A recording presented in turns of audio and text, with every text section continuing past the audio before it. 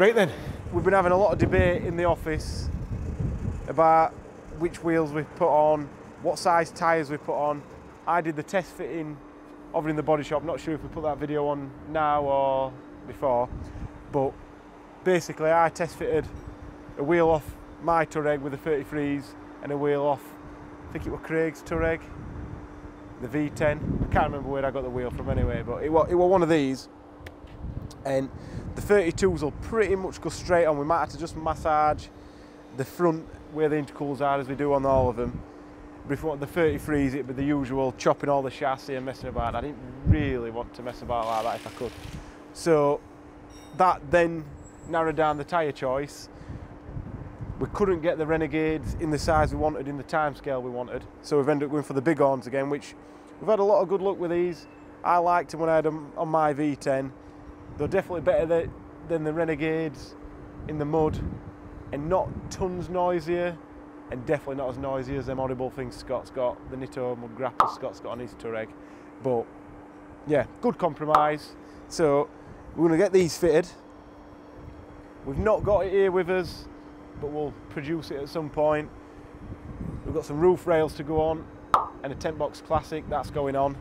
And then as you can see, there's five wheels here and I don't want to put the other one on the roof obviously because we've not got a cargo.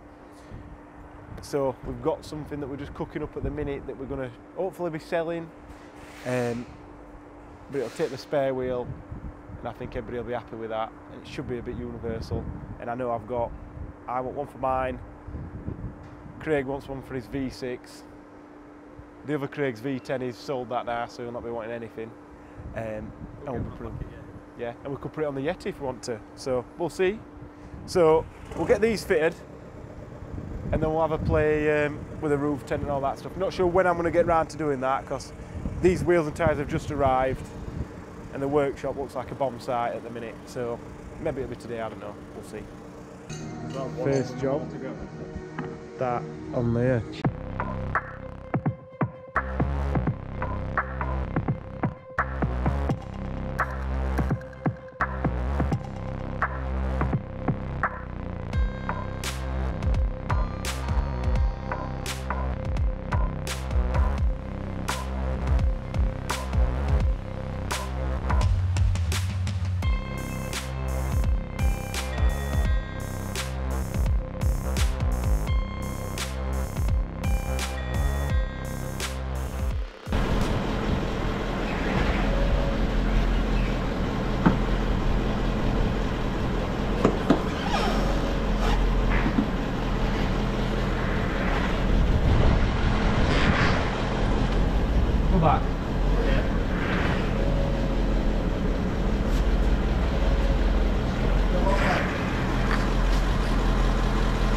Less off back, but I don't think it's probably more up front. Just like when you've lifted it up, obviously it comes round the bottom, and that's more in middle of tyre now.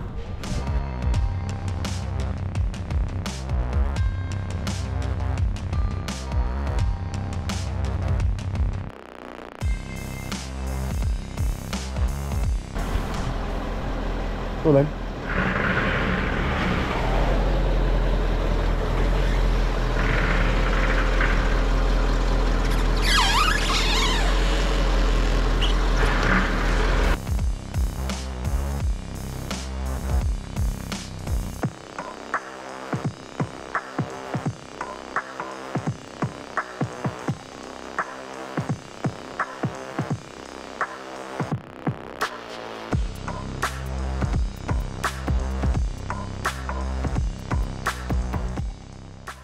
So, wheels are on. I think they look pretty good.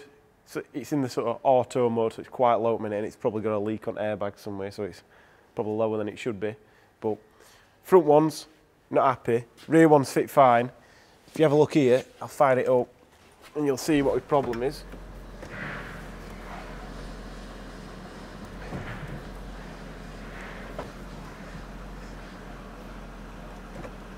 So sure you could see we've got quite a bit of contact at the back and a bit of contact at the front but we have got like a 20 mil spacer on here so I think they sit just nice how they are but clearly we can't have them sticking out that much without chopping and attacking stuff. So I've got some thinner spacers here.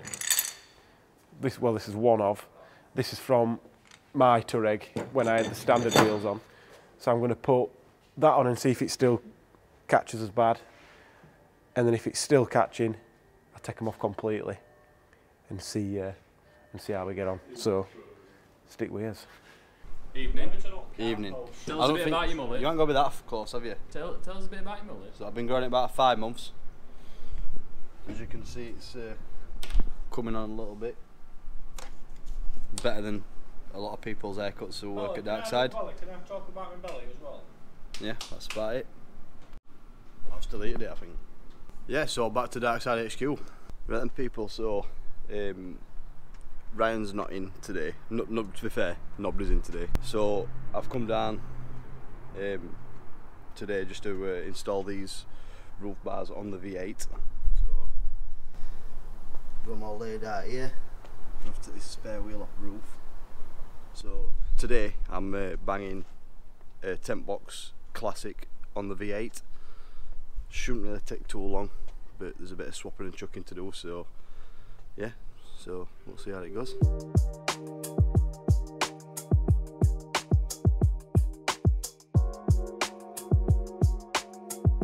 So I've just got spare wheel off roof. Nice and easy apart from it was absolutely wet through. Caught water last night so yeah, wet through for day so.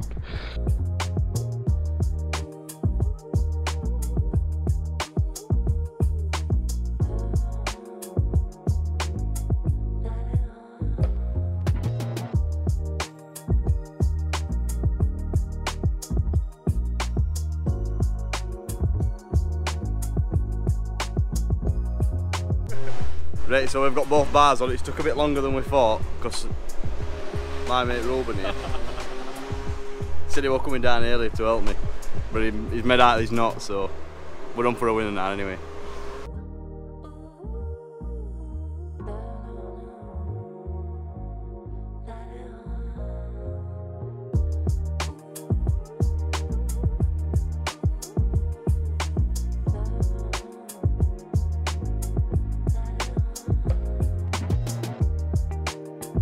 So we've got roof bars on.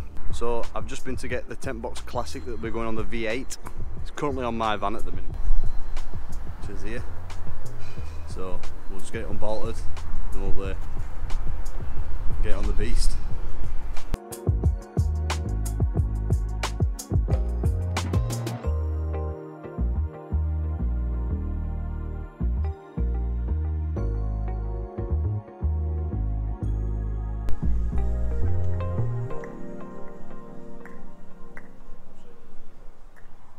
So I've got the tent on. Ruben's helped me. Danny's helped me as well because it was a bit of a nightmare. It took a bit longer than I expected. So look now, we've got the V8 all kitted out, ready for camping.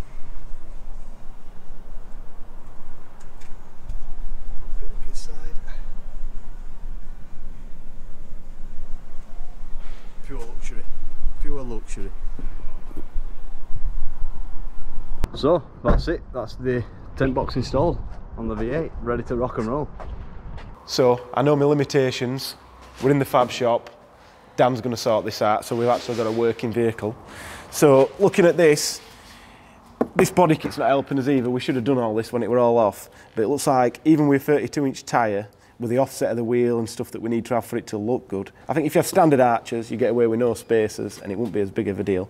But we're gonna have to trim this down a little bit, chopping, which is gonna be hard while keeping that good. So Dan's gonna struggle his way through that. It'll be all right though in the end. And then I've took the arch out at the minute, but we're just rubbing.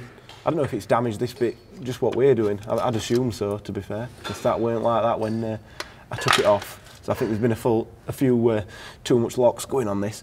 But we just need to, obviously, trim that bit off and just push this intercooler further forward. So Dan's going to get the front off, have a quick look and see what's what. But as usual with any of our projects, we do everything two or three times before we actually get it how we want it. So the bumper's coming off again, which is annoying because I know it were a pain to get off in the first place. So hopefully get it sorted.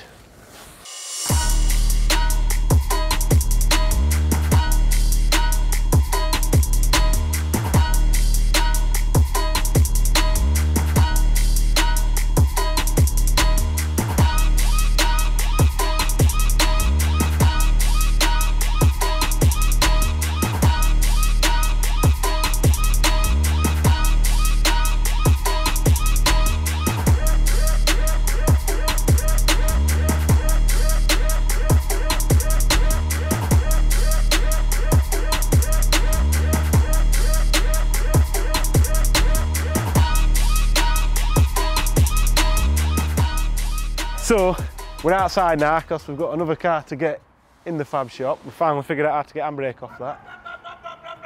Yeah. Whoa! Jesus Christ, I thought we were going to hit that jig then. Anyway, absolutely off the head. When you're looking at a blue dot all day, that's what it does to you. So, Dan's got it sorted. We've got the big spacers on, which is what we wanted. Chopped and capped these off and didn't record much of what he was doing. So, sorry about that. We've had to chop the back of the arch out as well. And then at the front here, we've had to take all this bit, uh, all this bit of the arch away and move the intercoolers forward. Now, I've not got much to show you there, but this is a bracket that I don't know which way around it goes. It goes one of these way. But you bolt that to the front of the slam panel, chop the old bracket off and pull it forward and bolt it up with this, which we'll be selling. And then that pulls it away from the wheel. So now we are really close. I think we've got like a 20 mil spacer on our wheels and these are quite a low offset. So I think like running like ET10 or something like that now. So these stick out a fair bit. If you haven't got these arches, which this is a stupidly expensive body kit that just came on car, you're not going to need to poke them out as much anyway, so you probably get away with a bit less chopping, a bit less trimming. You might get your arch liners back in, but that's for you to sort out, not for us at the minute. So these are on, and then as you can see, we've got a not very clean TentBox classic on there.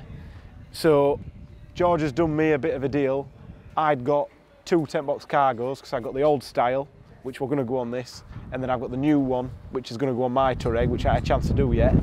But he said he wanted the cargo for his caddy van, for a picture of what they all look like together. But basically, I've got this classic one now. I think I might go camping in it this weekend. I'm not too sure because we're going to go to Silverstone and me and George need somewhere to stay. Rather than staying in a hotel and being posh like Scott likes to be, we might stay in the tent. We'll see, I'll decide. I just need to use this before I decide, but I'm not going home in this because I'm going home in the Luton van to get some fuel.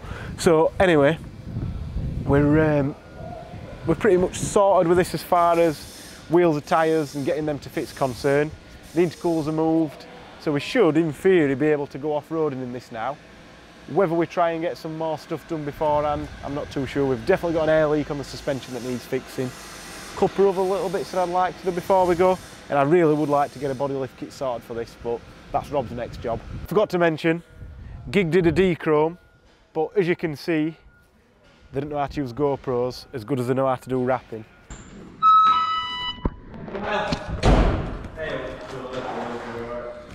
So we just basically got turn it camera off.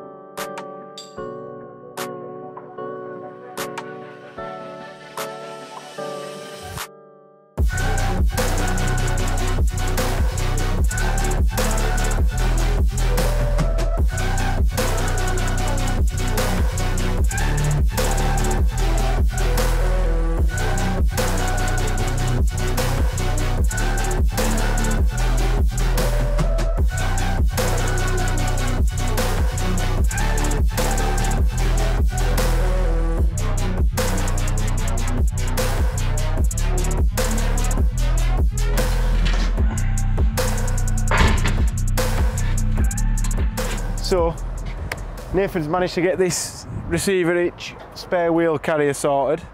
This one's pretty nice. I think we're going to change the angle a little bit and move it in a bit, but that's just for the Mark II Touareg. This one's actually the one off the Mark III Touareg, so, eh, sorry, the Mark 1 Touareg, not Mark III. This is off the Mark II. It Mark, oh God. This is off the Mark 1. So we're going to put this one back on and sort it all out, but this one has got a nice little feature. I hope. Them pins are going to be dead. I always forget.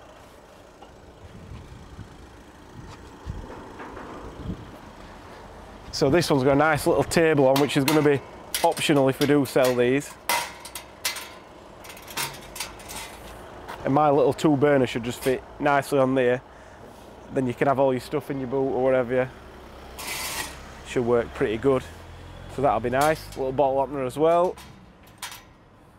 So we bought these in, obviously we've not made these in house. But the other good thing with this as well, we're still going to sort the number plate situation out. That'll be added on to the end of this video, I'm sure. But the other good thing with these, the boot is empty on this. You can still put your little towing chap in. There you go. Just need another pin for that. You put that in there. I wouldn't want to use it as a tow, have the tow bar in there as well. I think it's strong enough tow, but I wouldn't want to do it unless the trailer were empty. Um, so what we'll do, if I think we're going to be towing with this one, depending if the new trailer module comes for mine before we need it. But we just have to take this off and just throw it in the vehicle that we're towing or put it on the trailer or whatever, just to keep it safe for there. And then we'll throw it back in when we're sorted. So we shall see. Yeah, these need galvanising and then powder coating, which will get them done black, and then they should do what we need to do. So we'll uh, we'll get these tailpipes sorted, and then this is ready for Wales, I believe.